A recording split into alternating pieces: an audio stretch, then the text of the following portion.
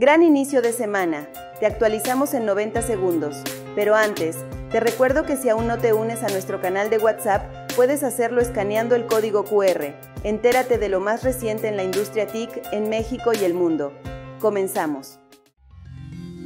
Los centros de datos generarán 2.500 millones de toneladas métricas de emisiones de dióxido de carbono al final de la década y acelerarán inversiones en iniciativas de descarbonización. Con la integración de Apple One, la compañía reforzará la dependencia de los usuarios del ecosistema, dificultando su migración a plataformas competidoras y fidelizando a sus usuarios de gadgets.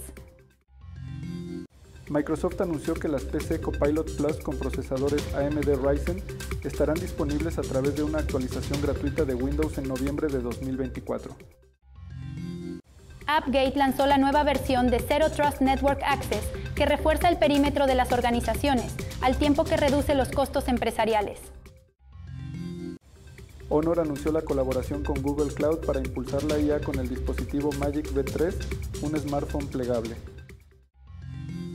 Hasta aquí las noticias. Nos saludamos mañana con el mejor ánimo.